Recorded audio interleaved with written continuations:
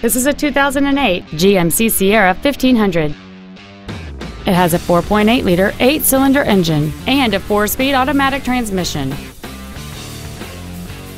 Its top features include a double wishbone independent front suspension, a low tire pressure indicator, commercial free satellite radio, and traction control and stability control systems.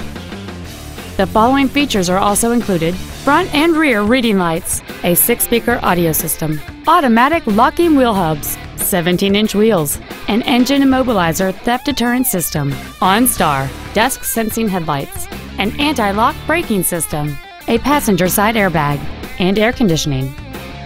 Please call us today for more information on this great vehicle.